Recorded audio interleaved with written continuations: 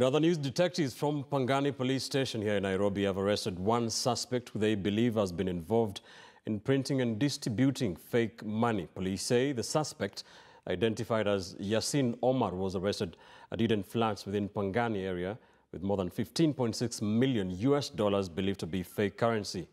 The suspect will be arraigned in court tomorrow as a manhunt for two of his accomplices continues.